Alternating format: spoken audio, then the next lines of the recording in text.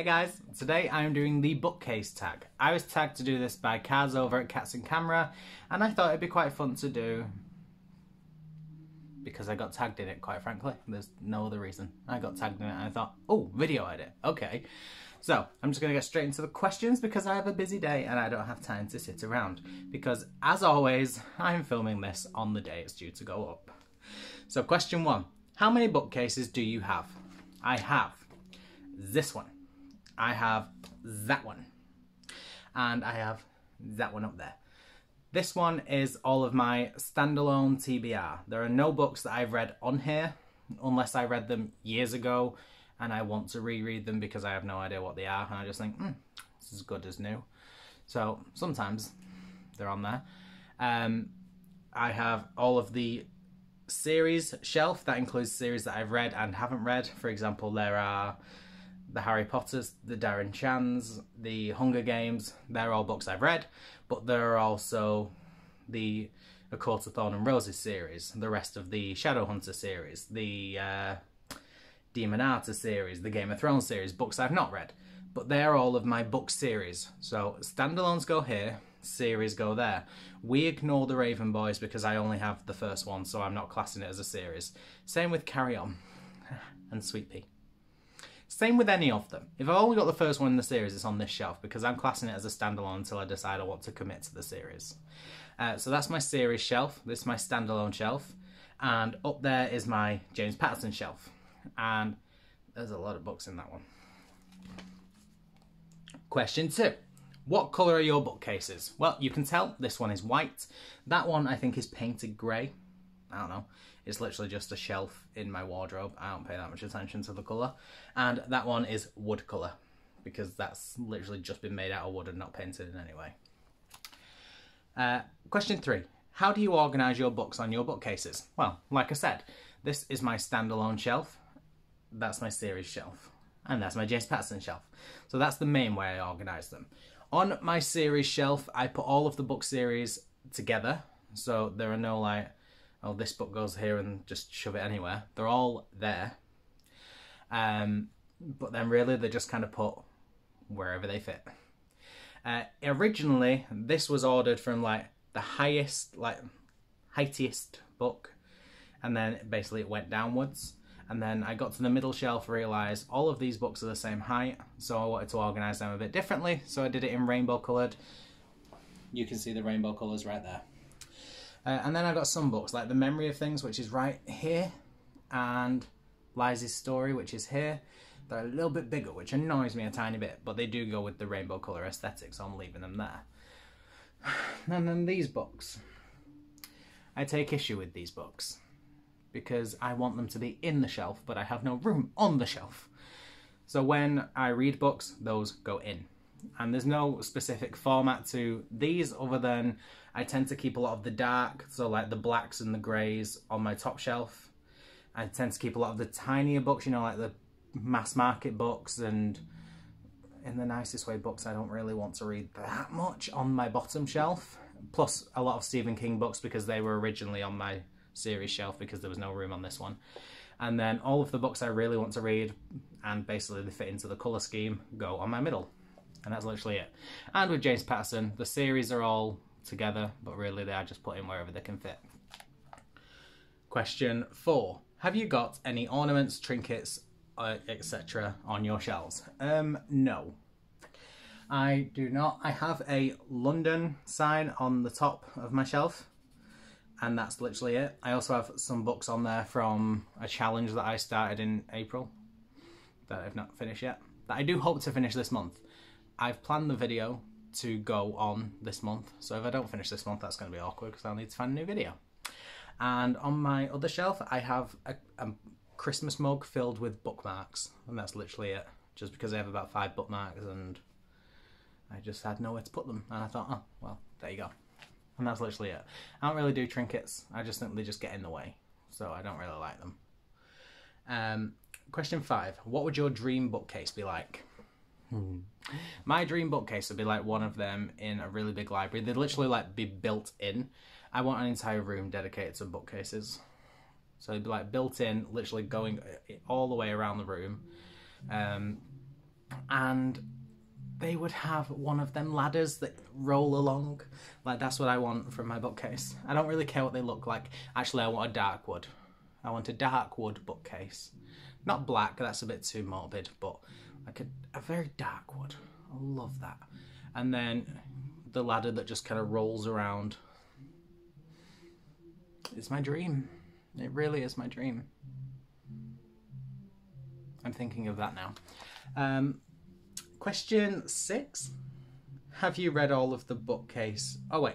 Have you read all of the books on your case? read none.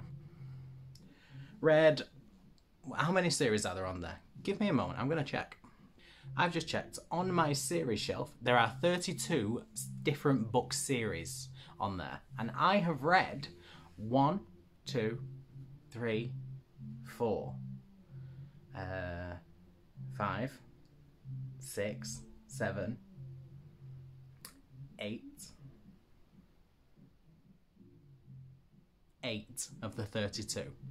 I've read none of these apart from maybe one or two of these Linwood Barclay ones, and that's literally it. And then my James Patterson one, I can tell you right now, I've read less than a quarter of all of those books. So, no.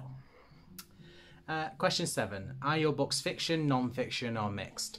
Uh, fiction. I, I I'm not a fan of non-fiction. I find it quite boring. Like no offense to anyone that loves non-fiction, it's just not for me. I don't particularly care about people's lives in terms of like autobiographies and things.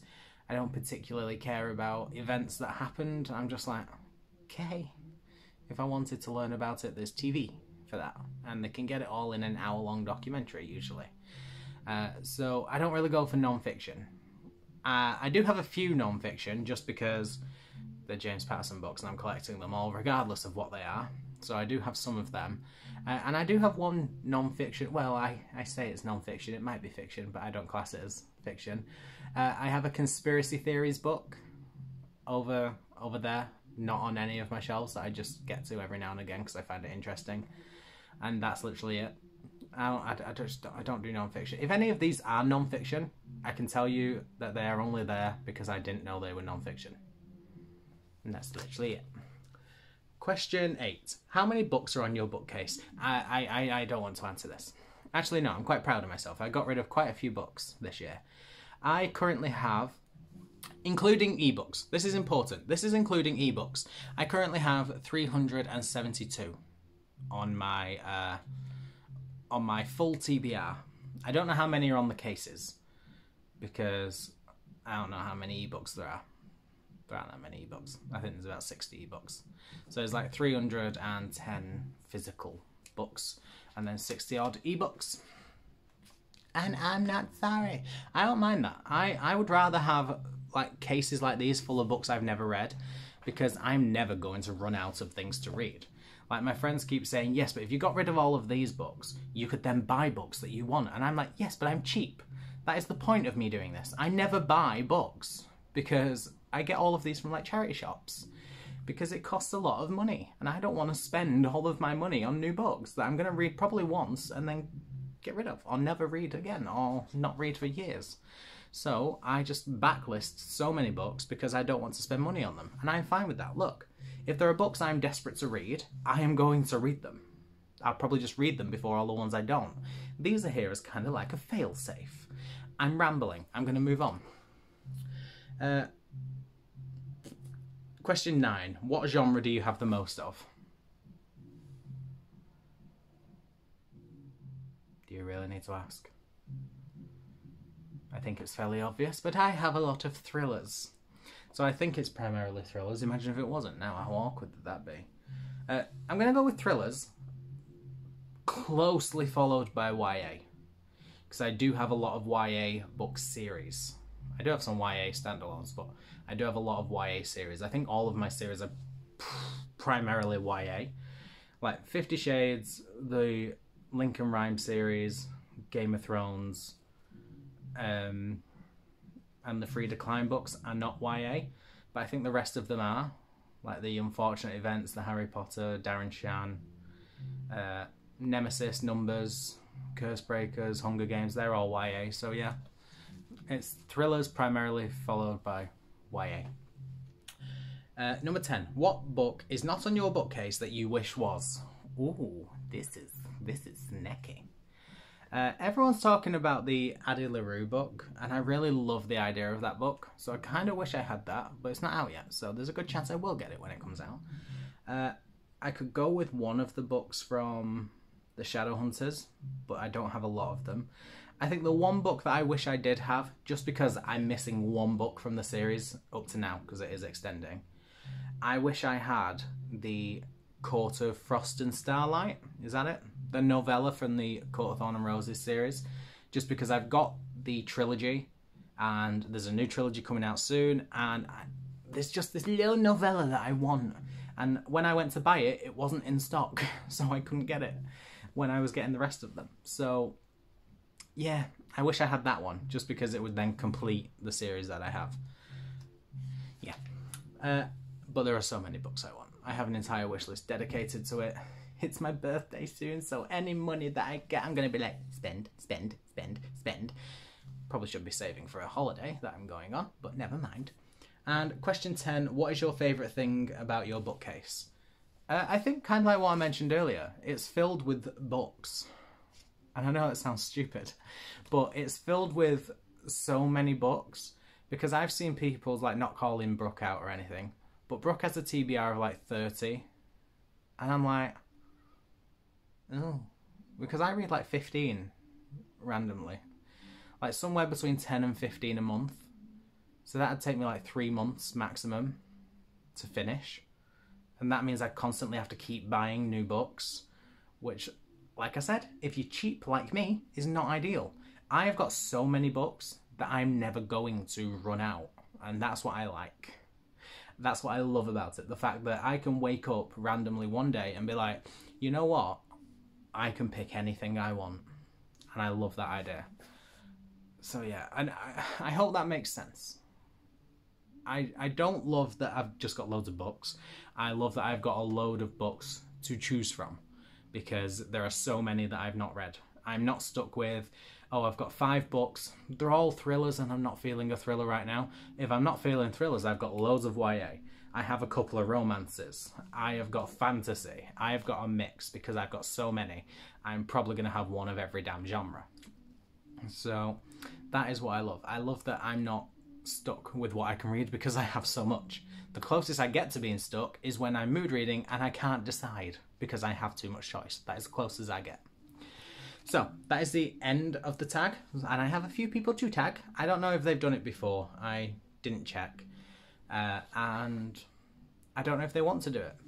I keep seeing videos where people say, I don't know if people want to be tagged, so I message them and ask them beforehand, and I, was, I, just, I just don't do that. I tag you. If you want to do it, do it. If you don't want to do it, don't do it. I'm tagging you regardless. So I'm tagging Kira from Kira Can Read. I'm tagging Cody from the Androgynous Booktuber and Sophie from Sophie Snell. If you have already done this tag, feel free to just put. Haha, I've got an idea. If you've done the tag, feel free to nominate someone in the comments to do it for you who has not done it. If you have not done the tag, you cannot do that. If you don't want to do the tag, just don't do the tag. It's fine. And if you want to do the tag, please feel free to say that I tagged you in it. I'm more than happy to give you an honorary tag. So that is it from me. Thank you so much for watching. I'm going to go edit this video and get it straight up. I hate leaving things last minute. Uh, but yes, make sure you click the subscribe button. Make sure you give me a thumbs up. Make sure you comment. Please, please comment because I really, really love it when people comment. It means the world to me. And I just love having discussions with people about things like this. Especially, I want to know what your dream bookcase is going to be like. Tell me that because I think of my dream bookcase and I just sit there like, for about an hour, just perplexed by it. So tell me what your dream bookcase is going to look like. And until next time, I will see you guys later. It's Saturday, so I will be back Monday. Bye, guys.